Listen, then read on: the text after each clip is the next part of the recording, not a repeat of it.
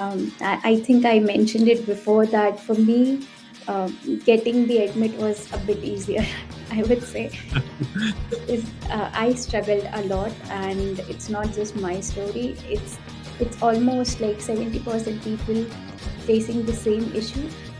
As everybody has, I had a blocked account of ten thousand euros, Mhm. and uh, uh, the do's and don'ts which I would like to mention here was I had my bank account which. Uh, you know which which gave all the money in at once Mhm. to me and um, at that time i didn't realize because you know you are in another country you want to enjoy so uh, you can't control your expenses so um, i would definitely say that there are certain banks which uh, hold out your money in monthly on monthly basis and Mhm. then they send you around 8, 25 euros if i'm not wrong per Mhm.